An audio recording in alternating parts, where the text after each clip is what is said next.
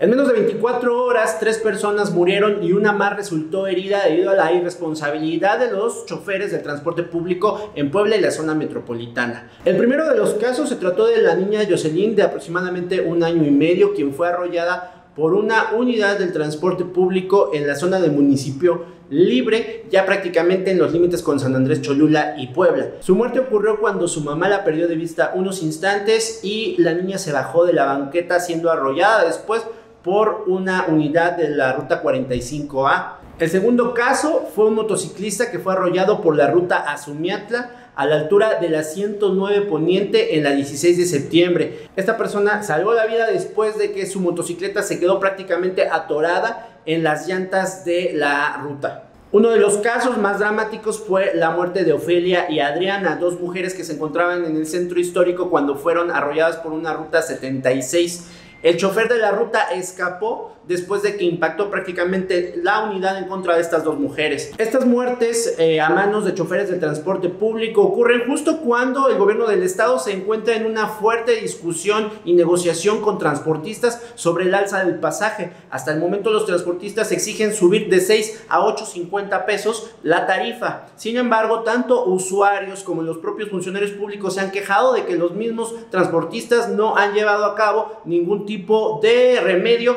para poder capacitar mejor a los choferes y así evitar más accidentes.